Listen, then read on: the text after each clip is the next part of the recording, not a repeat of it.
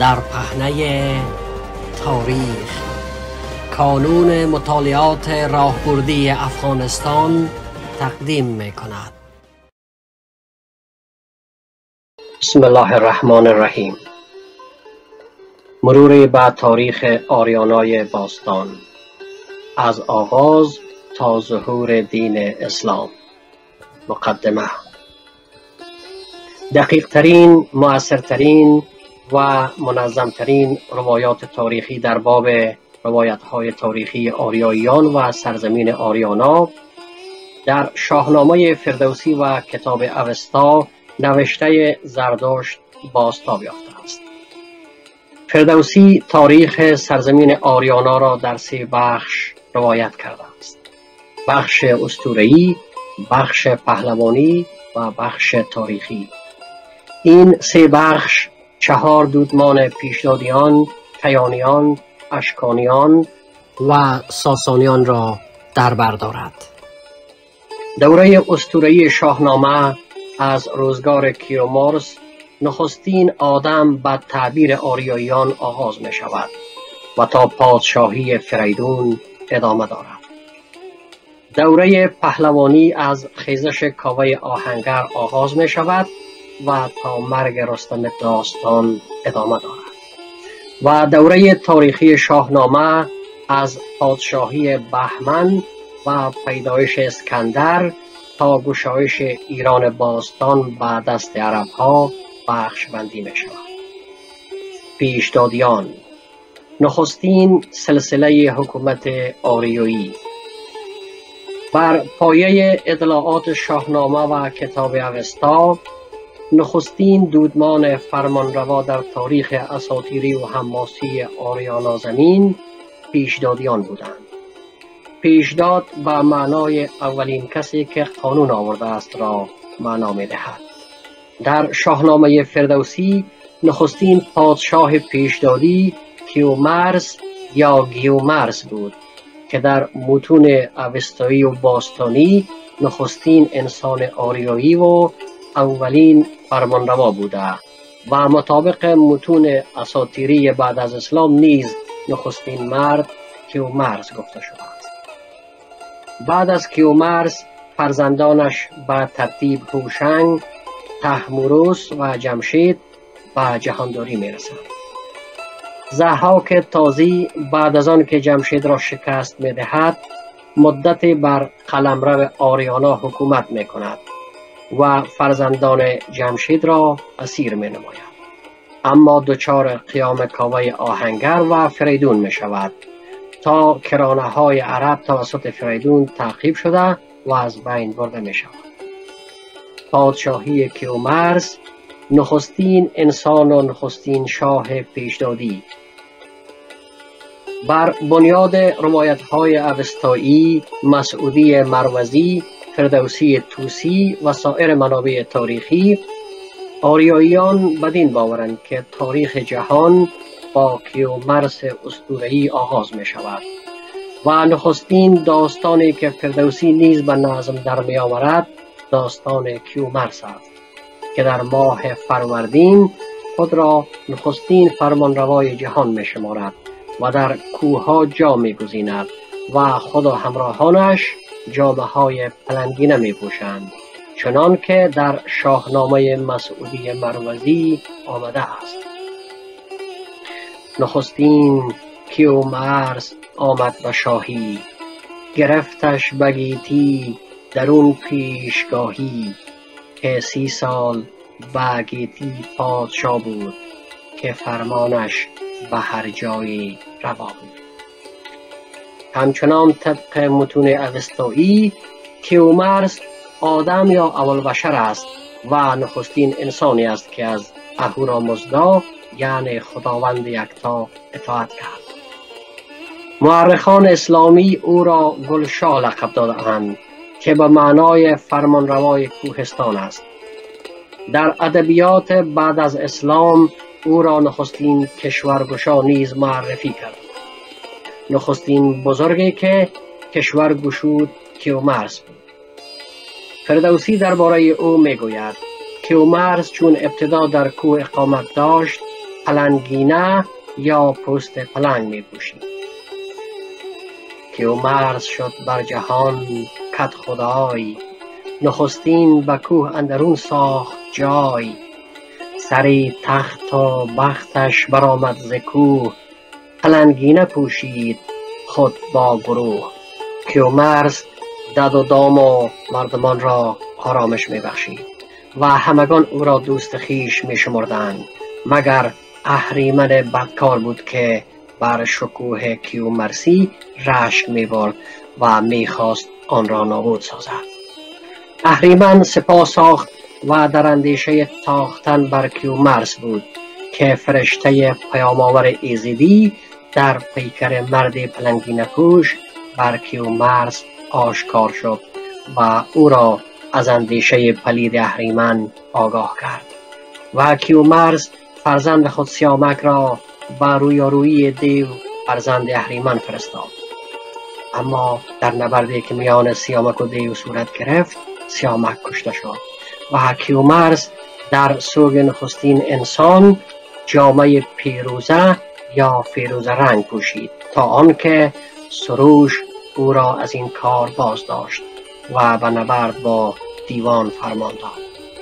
کیومرس هوشنگ فرزند دومش را به نبرد و دیوان فرستاد و او با پیروزی بر دیوان و کشتن آنان نخستین پیروزی را برای کیومرس و ارمغان آورد. کیومرس پس از سی سال پادشاهی درگذشت و هوشنگ به جای وی پادشاه آریانا شد.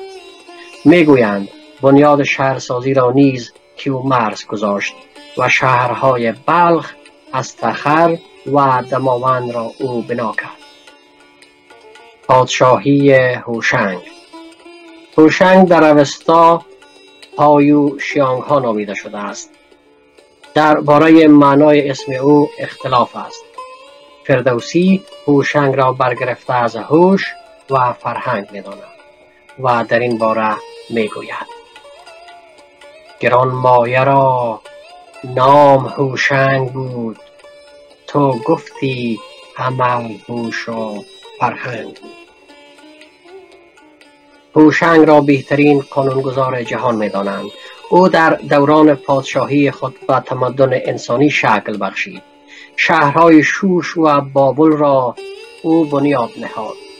آتش را پدید آورد و آتش را برافروخت و آتش را قبلگاه مردم ساخت و جشن صده را بنیاد نهاد و با آتش آهن را از سنگ جدا ساخت و با آتش به آهنگری پرداخت و اره و تیشه را پدید آورد و بدان وسیله رودها را از دریاها جدا ساخت. و به کشتزارها کشانید و چراگاه ها ساخت و جانوران و پرندگان را به کار گرفت و از پوست و پریانها جامه ساخت. فردوسی در باب کشف آتش بگوید که هنگام پرتاب سنگ برای کشتن مار آن سنگ به سنگ دیگری برخورد کرد و اخگری پدید آمد. فروغی پدید آمد از هر دو سنگ. دل سنگ گشت از فروغ. آزرنگ بعد دستور هوشنگ آتشکده های در فارس آذربایجان و آریانا برپا کردند. تا مردم بتوانند آتش آماده از آن بردارند. داستان هوشنگ درباره کشف آتش نشان می دهد که آریاییان آتش پرست نبوده اند ولی آتش را از جهت روشنایی و گرمی بخشیدن به زندگی آدمیان حفظ می کردند و سعی در نگهداری آن داشتند. به انگیزه کشف آهن در دهم بهمن جشن صد را برپا می داشتند. یعنی زمانی که پنجاه شب و پنجاه روز تا اول بهار یا عید نوروز باقی بود. همچنان در زمان هوشنگ مردم توانستند که از پوست حیوانات لباس نیز تهیه نمایند. فردوسی درباره جشن صده می‌گوید ز هوشنگ ماند این صده یادگار. بسی باد چون او دگر شهریار. پس از مرگ هوشنگ پسرش تحمورس و پادشاهی ایران رسید. پادشاهی تحمورس. سومین پادشاه پیشدادی تحمورس است. تحمورس به معنای دلیر و ملقب به زناوند که به معنای دارنده صلاح و زین می باشد. تحمورس نیز همچون پدر و آبادی جهان پرداخت و اندیشه و پاک کردن گیتی از بدیها استوار کرد.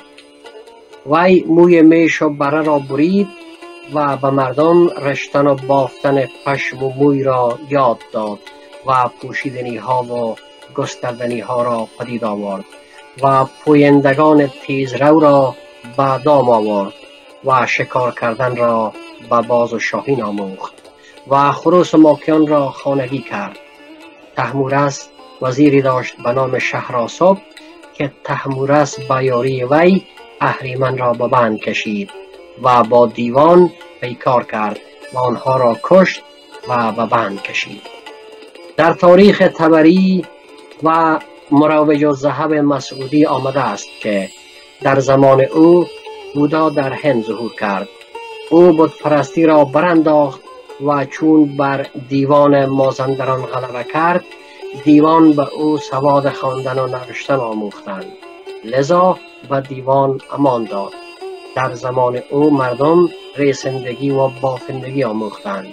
سرانجام تحمورس پس از سی سال پادشاهی درگذشت. و جمشید به جای وی نشست. پادشاهی جمشید. جمشید فرزند تحمورس چون رویش مانند شید یا خورشید می درخشید به معنای درخشنده معروف شد. او نیز مانند فرمانروایان قبلی پیشدادی از فرح ایزدی و پشتیبانی اهورامزدا برخوردار بود. طبق روایات فردوسی زمانی که طول روز و شب برابر شد یا اول فروردین یا حمل را نوروز نامید و جشن نوروز را برپا داشت. در دوره حکمرانی او انواع سلاحهای آهنی ساخته شد. تهیه انواع لباس رسیدن نخهای پنبهی ابریشمی و پشمی در زمان او رواج یافت سنگهای گرانبها از معادن استخراج گردید داروها و عطریات متفاوت شناخته شد. فن پزشکی و بالاترین درجه در آن زمان رسید. در ساختمانسازی انقلاب رونما گردید. چون دیوان مازندران ساختن خشت و آجور و نحوه بکارگیری گچ و سنگ را به آریایی ها آموختند از این رهگذر قصرهای باشکوه در ایران بنا گردید. در این زمان مردم به چهار طبقه تقسیم شدند یک آموزیان یا دانشمندان و دینداران.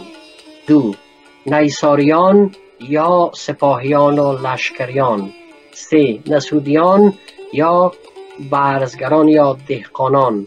چهار آهن یا پیشوران جام جمع یا جام جهان نما که با وسیله آن جمشید می توانست وقایع هفت اقلیم را در آن ببیند در زمان او بود. این جام بعدها به کیخسرو و دارا رسید. اما زمانی رسید که جمشید از باده قدرت سرمست شد و طور کبر و غرور بر او چیره شد که خود را جهان آفرین خواند و مورد قهر الهی قرار گرفت و زهاک تازی را بر او چیره ساخت. از این جهت بود که فردوسی توسی گوید شما را زمن هوش و جان در تن است و من نگرود هر که اهریمن است. گریدون که دانید من کردم این مرا خان باید جهان آفرین. غرور او زمان زیاد شد که در جام جهان نمای خیش هر را که اراده می کرد می دید چنان که فردوسی گفته است.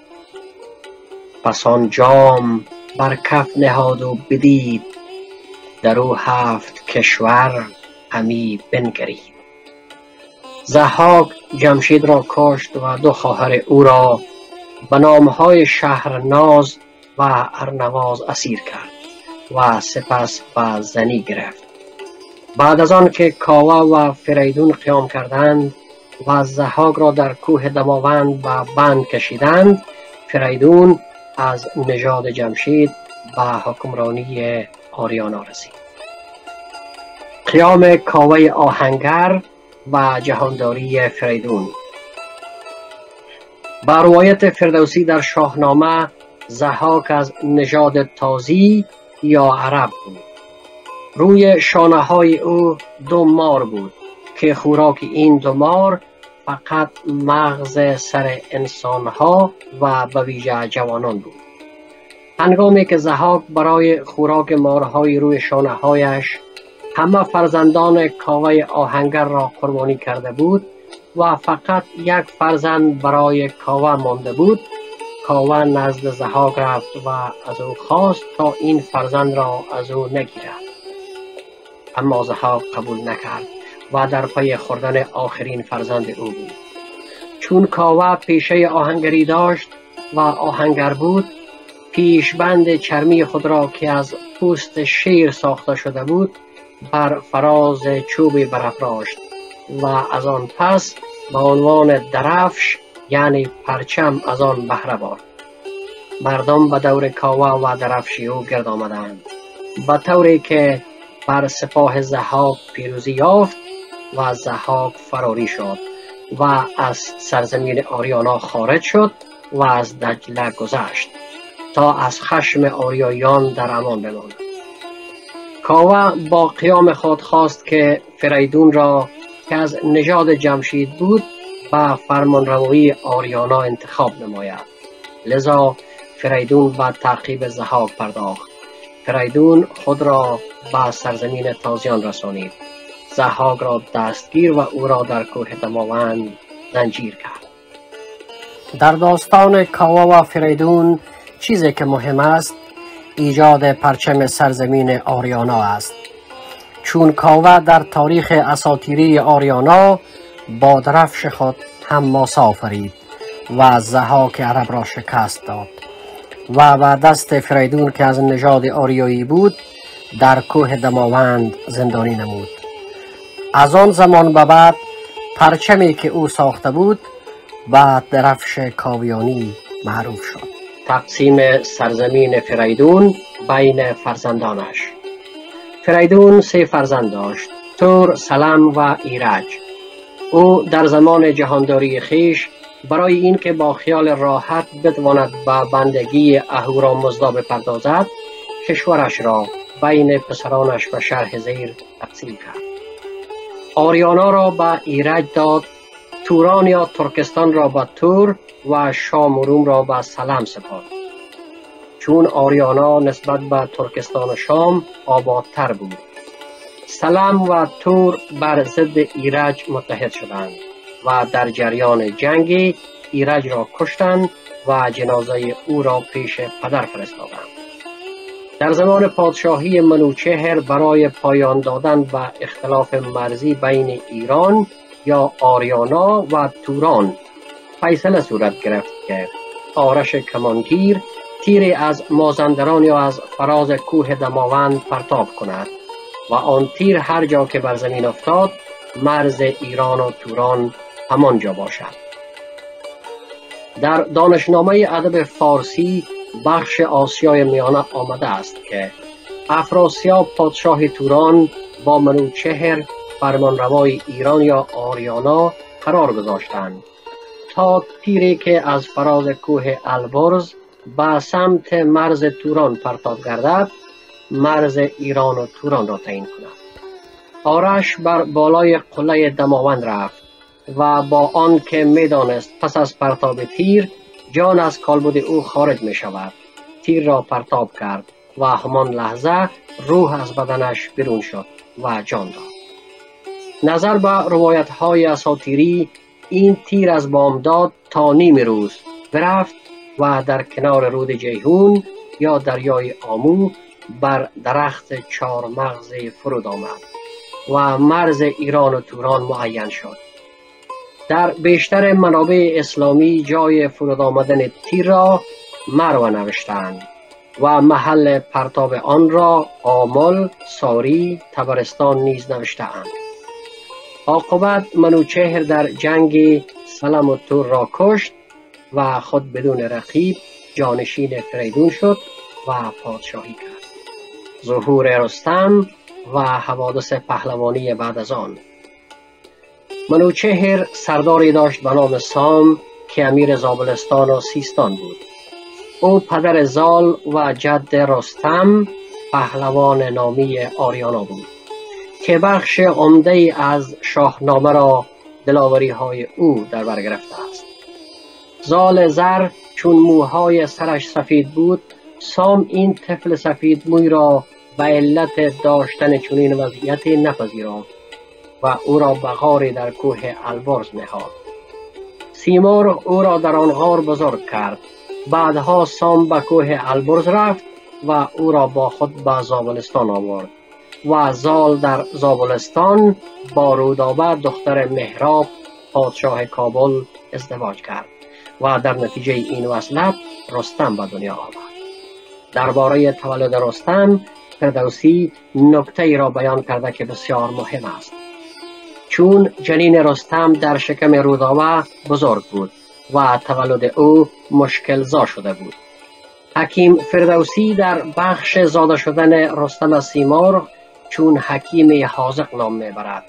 چون در آن زمان داروی بیهوشی نبود سیمرغ دستور می‌دهد تا ابتدا رودابه را با می یا شراب مست گردانند تا بیهوش شود و سپس پهلو را شکافته و رستم را از بطن مادر خارج کنند. فردوسی در این باب از توصیه سیمرغ تا تولد رستم را به شیر می سراید نخستین به می ماه را مست کن ز دل بیم و اندیشه را پست کن.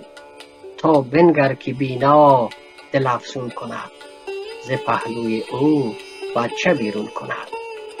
بیامد یکی موبدی چیره دست بر ماه رخ را به می مست کرد. و اینکه چرا نام نوزاد را رستم گذاشتند علت این است که وقتی نوزاد به دنیا آمد رودابه گفت از این غم برستم یعنی از این درد راحت شدم. دلاوری های رستم از عهد منوچهر تا روزگار بهمن فرزند اسفندیار معروف است. در روزگار کیقباد کیکاووس و کیخسرو از خود دلاوری های بسیار زیادی نشان داد. زمانی که در جستجوی اسب خود رخش که دزدیده شده بود به سمنگان رسید دختر شاه سمنگان را که تحویل نام داشت و زنی گرفت و از این ازدواج سهراب متولد شد که سرانجام در یک نبرد تن به تن زمانی که رستم نمی‌دانست با فرزند خیش نبرد می کند او را کشت. رستم پس از آن تورانی ها را شکست داد. رستم دو برادر داشت به نام های زواره که در جنگ ها یاور برادر خیش رستم بود و برادر دیگرش شغاب نام داشت که عاقبت رستم را کشت. از حکومت نوزر تا گرشاسب و پایان سلسله پیشدادیان. طبق روایات فردوسی نوزر فرزند منوچهر چون از رسم پدر سرپیچی کرد لشکریانش بر او شوریدند و آریان زمین در مقابل توران ضعیف شد و افراسیاب تورانی و آریانا لشکر کشید و نوزر را کشت. بعد از مرگ نوزر زو یا زاب پسر تحماسب به پادشاهی رسید. پس از زو فرزندش گرشاسب به پادشاهی رسید. گرشاسب آخرین پادشاه پیشدادی است که مجبور بود همواره جلو سپاه افراسیاب استادگی نماید. با مرگ گرشاسب پیشدادیان منقرض و کیانیان و جهانداری رسیدند.